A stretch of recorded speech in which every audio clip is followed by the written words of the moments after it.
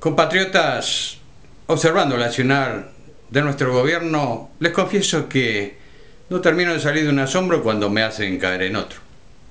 Y me estoy refiriendo a los acontecimientos de estas últimas horas y al resultado que tuvo la sesión de la Cámara de Senadores, que fue a solicitud del doctor Pedro Bordaberry levantado el receso parlamentario para considerar cuatro proyectos de ley que había sido presentado por este sector ya hace tres años atrás. Al fin se dignaron a considerar el tema. Pero a pesar de eso, tuvieron que esperar más de una hora para que hubiese número.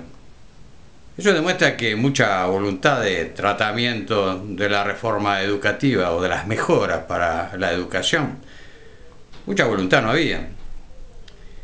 Y como resultado final, rápidamente, decidió el Senado pasar el tema a estudio de comisión.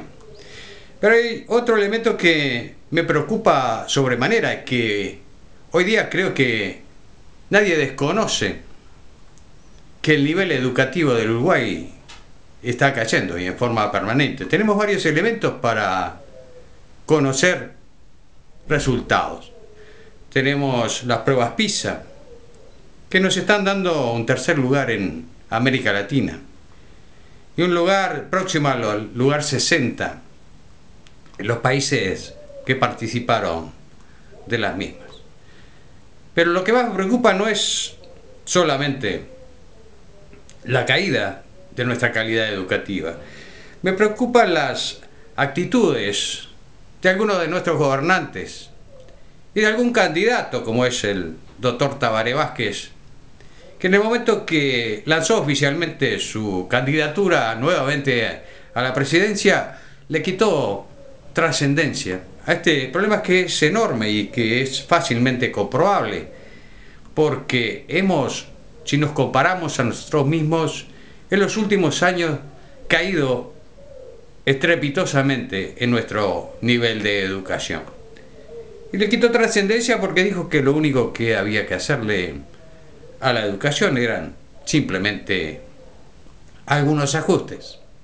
En una actitud media similar fueron las palabras que tuvo nuestro ministro de Educación y Cultura a la salida de la Cámara de Senadores, y que incluso jugó una carta más, asegurando de que en algunos aspectos Inclusive habíamos avanzado.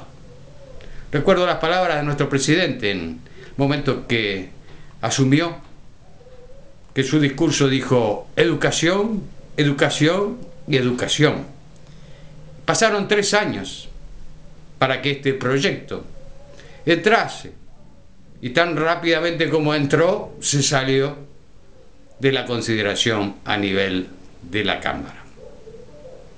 Y como título este video, me parece increíble el cinismo con que este gobierno está encarando el tema. Y miren que estoy siendo bastante magnánimo en la calificación, porque podría expresarse en otros términos. Me da la clara impresión de que el ansia de conservar el poder está por encima de todo.